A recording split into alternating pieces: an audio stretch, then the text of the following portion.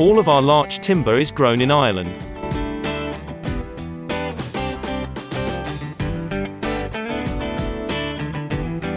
Larch is a hard and durable timber and has many practical uses.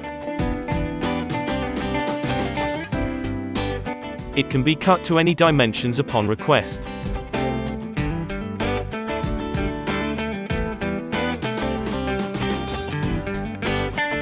We can plane all larch timber if required.